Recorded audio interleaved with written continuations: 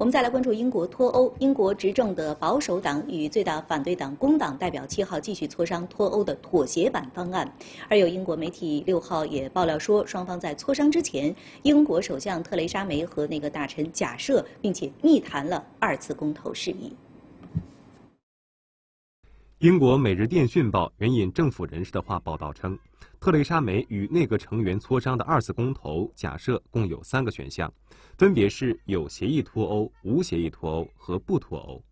按照不愿透露姓名消息人士的说法，二次公投的前提是保守党与工党磋商失败，并且议会执意要求政府无力阻拦。其实，特蕾莎梅的一贯立场是反对二次公投。他先前曾表示，如果保守党与工党的磋商失败，议会将投票决定下一步选项，但选项的具体内容尚未确定。而《每日电讯报》援引工党影子内阁财政大臣约翰·麦克唐奈的话报道说：“就现有的情况看，不论最终达成何种脱欧协议，都需要以公投方式加以确认。”特蕾莎梅政府与欧盟达成的脱欧协议草案，迄今三次遭英国议会下院否决，脱欧日期从原来的今年三月二十九号延迟到最晚今年十月三十一号。